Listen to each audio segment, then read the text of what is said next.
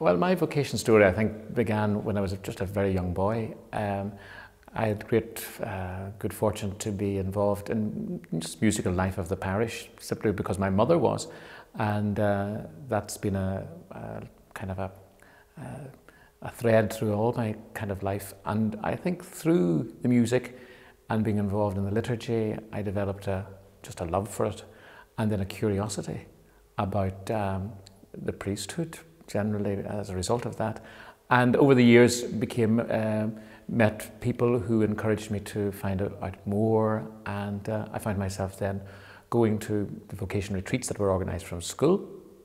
And uh, uh, that was I suppose the hook that got me interested. And at one stage I was considering doing something else, uh, studying law as it turned out, but then I decided in my upper sixth year, look, if I don't give this a, a chance now, I might, might regret it, might, might not follow it up. So um, I think it was, it was music, it was curiosity, it was the people I met, and then going and finding out a little bit more about it myself. Uh, and I found that I was uh, very happy in that environment and uh, um, stayed and continued. And uh, that has brought me to, to where I am.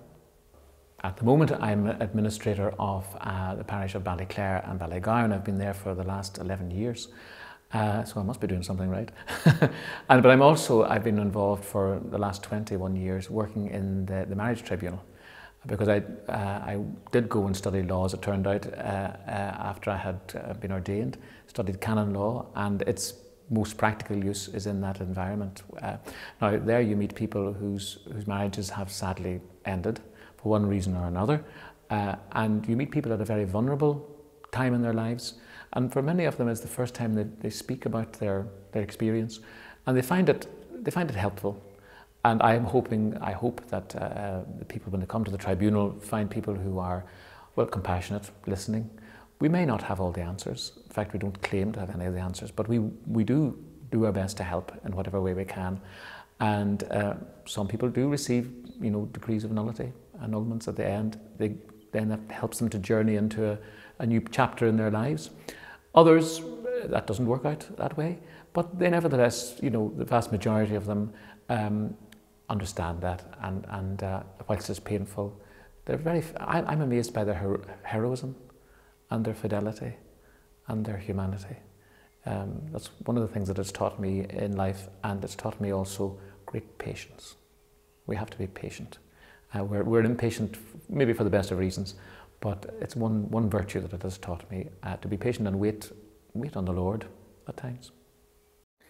In around 2008, we were approached out of the blue by uh, Sony, who wanted to, uh, one priest to uh, help them make a record of religious music. They found Martin, David, and myself, and having heard the three of us who had been singing together for, since we were boys, at school and uh, in seminary in, in both the St Joseph's, the Wing, here in Belfast, and then later on in Rome. Uh, when they heard us sing, they said, "God, we'd like to park that pro program and make a make an album with you guys."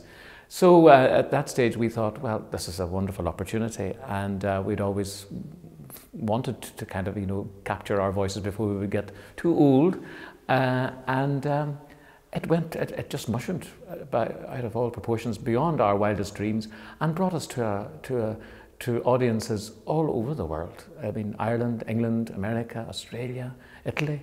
Um, and it's been fascinating. It's been a wonderful opportunity then to present ourselves as who and what we are, ordinary priests, um, but with you know the great gift that God has given us, and to use it simply uh, for His glory, and uh, also a gentle form, a very gentle form of evangelization.